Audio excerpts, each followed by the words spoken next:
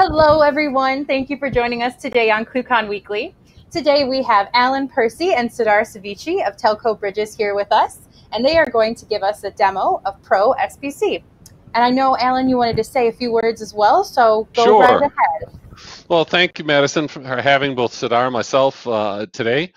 Uh, one, we're we're really excited. You know, we we attended ClueCon uh, a few weeks ago and had a great time. It was our first ClueCon, uh, and if there was any regrets, I, that I missed the first 14. So so there you go. so it was a great event, and thanks for putting on a, an awesome event. We um while we are at the event, you know, we had a lot of folks uh, come to our table and learn a little bit about our FreeSBC and ProSBC platform and you should know that that um, that FreeSWITCH is one of the one of the top um, reasons why people download either FreeSBC or ProSBC. We see um, you know, we ask people during the download process what they plan on using it with, and uh, FreeSWITCH is one of the top responses. So um, obviously a lot of interest in that in the community. Uh, and it's a really good fit from uh, not only a technical standpoint, from a business standpoint. But the one question people asked us at the conference was, uh, can you give us a quick demo? And of course, we just weren't prepared at that moment at the show to do a quick demo. Uh, you know, it's what happens you stick a marketing guy and a sales guy uh, at a trade show. Is uh, you know our technical level of expertise is eh, almost there. So anyway, so we decided to do is invite Serdar, who's one of our wizards um, behind the scenes. He's part of our uh, customer support team. Um, he's based in Turkey, and that's why it's quite dark where he is in his office. Uh, and he's been a great uh, asset to the team. He joined the company too about 18 months ago, uh, just about the same time I did. I joined the company, and so with that, Serdar is going to give a demo, uh, a walkthrough demo of what the activation installation process is like for ProSBC, starting right from the very beginning. So Serdar, why don't you take it from here and just maybe quick explain what people are going to see, and then dive right in. Okay, so here in our in our uh, sample, I'm going to use one of our SBC installed on AWS and I will also have two FreeSWITCH installed in same AWS instance. So let's start with the login screen from here. Unity, first of all, you need to know we are using 12358 port to log in our web GUI. When you log into our web GUI, you will see this screen.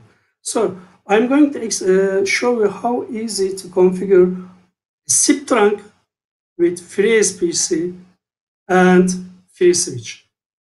So first step you need to do is to configure the IP interfaces in the FreeSBC. But you need to know on the AWS the all IP interfaces are coming pre-configured because of the AWS topology. Okay, so if you want to configure standalone server in your uh, network, or if you want to deploy FreeSBC, ProSBC with the VMware or any other virtual machine, first of all, you need to configure your IP interface here. Okay, so it's very easy to configure. You just need to click, click to create a new interface, give a name, select the services, okay, and you need to give the IP addresses. The second step is to create a SIP stack. Okay. Just give give a name so here you can see we have other uh, advanced options and some header parameters to add or you can play with the session timers. Okay, so I'm just going to leave it them default values and click to create. So our SIP stack is configured now. So we need to create transport servers. So these transport servers are actually our entry points for the SBC. Okay, so let's give a name web 0 transport server. Here you need to specify which port type you are going to use. You can select UDP, TCP or TLS, which port you are going to receive the SIP messages, and which IP interface you want to use this port, port type, and port. So here in our sample, we only have one IP interface. So I'm selecting web server and create. So if you have multiple networks, for example, if you want to separate internal network and external network, then you need to uh, add transport server for each network. So after configuring the transport server, we need to, the third step is the adding NAPs. NAP means is network access point. It is an entry point, entry and exit point for SIP traffic. Okay. So in our uh, sample, I will create I will create two NAPs, one for two networks, one for uh, FreeSWITCH, and one for the operator. So let's say create new NAP, give a name. Mm, gotta spell it right. Sorry. There you go. Switch. Switch. Oops. Okay, very good. So here you need to select which transport server will be used for this network. Okay, here I select Web0 and you need to specify which RTP port, which port range will be used for the RTP. Okay, now here we need to give the proxy address of, the, of this network. You can use any IP address or you can use an FQDN of your FreeSWITCH. If you want to use FQDN in the NAP settings, you need to configure local, you need to configure the DNS too. So in my sample, I'm going to use static IP address, one of the static IP address of my. Seven. Okay. So I say save. And I will create a ITSP SIP trunk network. Okay. Let's say SIP trunk.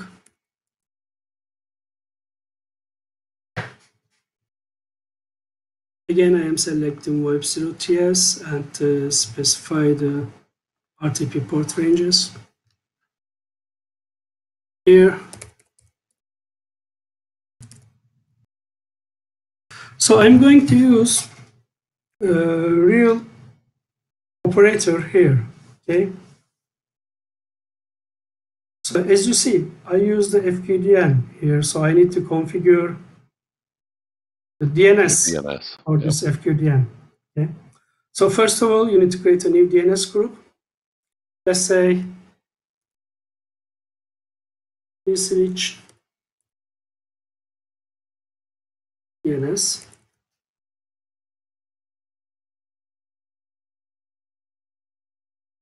and you need to create a new DNS server.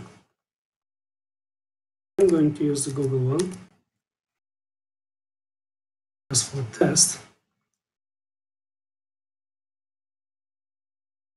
Okay, now so we create our IP interface, we create our SIP stack, we create our network access point to network entry and to exit point for the SIP tra traffic. Now we need to create a connection between the NAPs. So we need to go to the routes here and create a connection between two NAPs. So let's say two SIP trunk. This is outgoing call from FreeSWITCH to SIP trunk. Here you need to specify the to select NAP, which is the incoming NAP for this route.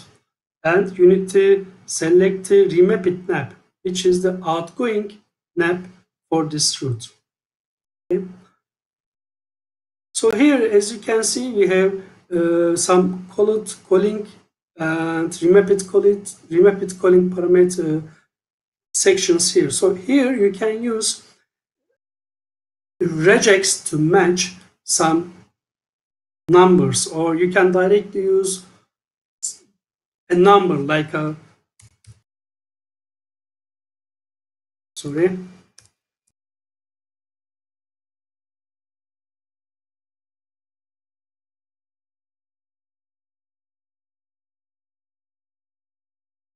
Okay, this trunk will be used only if the colit number equals to this phone number. Okay? If you don't enter anything here, everything is going to go to SIP trunk if it's coming from FreeSWITCH. So I say create. So now we need to create uh, incoming trunk for the FreeSWITCH. We create outgoing trunk outgoing route. Now we need to create an incoming route for the FreeSWITCH. From SIP trunk. This time I select SIP trunk and the map nap will be FreeSWITCH and create. So actually the configuration is ready now between uh, SIP trunk and your FreeSWITCH. Okay, so FreeSBC will be in the middle and we are going to communicate with SIP trunk and we are going to communicate with the free switch and we are going to route all the calls to FreeSWITCH to SIP trunk, SIP trunk to. But first of all, we need to activate our configuration, okay?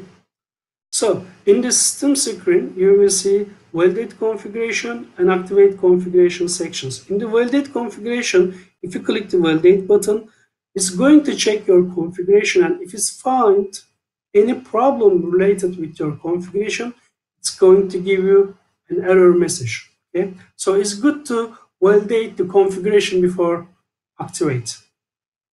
So after validate, I'm activating my configuration. Okay, now here you can, from the status screen, you can see the NAP status. As you see, these are green, so it means the NAP's network access points are up and we have a communication between these two entry points. So actually what we do, we are sending options messages and receiving 200 OK for the NAPs. So let's talk a little bit about this screen, okay? So in this screen, you can give you, you can see status of the system and the most useful part for the sequence actually the calls. So here you can see all the incoming calls, outgoing call legs, how many calls are answered, how many calls are terminated. I mean, uh, very detailed call, very detailed things related with your call. Here we have backup screen. Okay. You can create a database backup. Actually, I recommend you create each time when you make any configuration change you can create a backup, database backup here manually, or you can upload also database backup backup to the your SBC. On the system menu, we talk, we already talked, but here I can say you can uh, also activate the packages from this screen. The package is actually the, soft, uh, the SBC software running on the system. Okay. So now let me change the configuration and we can make little demo here.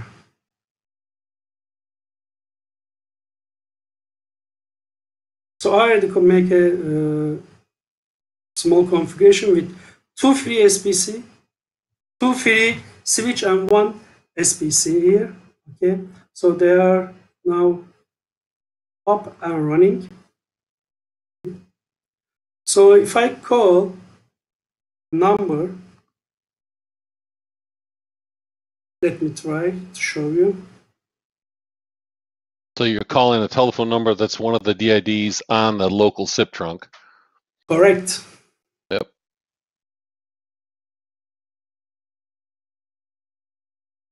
Okay.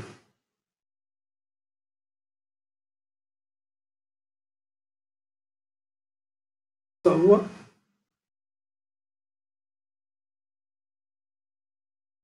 So as you see,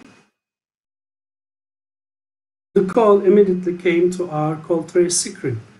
Okay, so you will see always two legs for one call, which one is for incoming, the other one is for outgoing. But if you click one of them in the call trace screen, you will see all the call flow related with this with this call. So actually, this is the very powerful powerful tool to solve the problems. Okay. You can see here the messages between two endpoints, okay, and uh, some details, for example, related with the SDP or which port you used. So it's a very powerful tool, and it it comes with the Pro Edition, okay. Comes with the Pro Edition. Right. So uh, let me show you here. I have two NAPs, FreeSWITCH 2 and FreeSWITCH 1. Actually, these are the real running uh, FreeSWITCHes on the AWS at the moment. I have one SIP trunk, and here in the route, I have I need to create uh, two different route for each FreeSWITCH. Okay. Uh, one more thing I want to talk about to routing script. For example, in this configuration, I give priority one to each route, and this means the calls are going to calls are going to use uh, round robin method between two FreeSWITCHes. Okay? So first call will go to the FreeSWITCH 1, the second call go to FreeSWITCH 2, third call call to 1, fourth one to 2, and keep going. But you can use, for example, if you give rate 100 here, okay, so this means all calls coming from SIP trunk will go to the FreeSWITCH 1 until FreeSWITCH 1 is down. So as you can see, I mean, it's very simple to make uh, load balancing between the FreeSWITCHes. And with the routing script, of course, let me show you scripting. Okay, with the routing script, you can add many, many more functionalities to your SBC. I think I am done. Good. Yeah. matter of fact, you just showed real quick a peek at Yeah. the of the various routing scripts. There's a lot more power, uh, way beyond what uh, Serdar showed. Uh, you can route based on dialed number, called number, um, or you know the calling number, NPAs and NXXs, and use regular expressions, etc. In a lot of these routes. And then, uh, depending on your level of skill, you can get into developing whole custom routing scripts uh, that are part of the platform. So there's a lot of flexibility above and but what we wanted to show you. But the Yes. net of it all is we showed you in about 20 minutes how we can go from uh, a fresh instance of uh, FreeSBC on AWS uh, and have it configured and up and running. So that's um, that's really what we wanted to show today. So that was fantastic, Serdar. Appreciate you doing all that and putting together the demo. Okay, thank you. Yeah, all thank you guys so much for all of this. This is wonderful. And if anybody has any questions on any of this, go ahead and write them in our comments section on our Facebook and YouTube pages, and uh, we will get those over to Alan and Serdar so that they can um, better help you um, with whatever you may need. Yeah, and if someone's interested in downloading a copy of uh, FreeSBC or ProSBC, they can go to freesbc.com uh, slash pricing, and that's we have a whole big page that details the functional differences between them, and they can just click to download the software and start with a 90-day evaluation license on ProSBC or a one-year license on FreeSBC. So there's lots of uh, lots of tools here, and happy to help people out, and look forward to hearing from them. Awesome, awesome. Well, thank you guys again, and uh, we'll see you next time. You bet. Thanks Thank for having us. Yeah, thank you. Thanks for watching ClueCon Weekly. Don't forget to give this video a like and a subscribe. And while you're at it, make sure to go and follow all of our other social media channels. We'll see you right here next week, same time, same place. And catch you at ClueCon.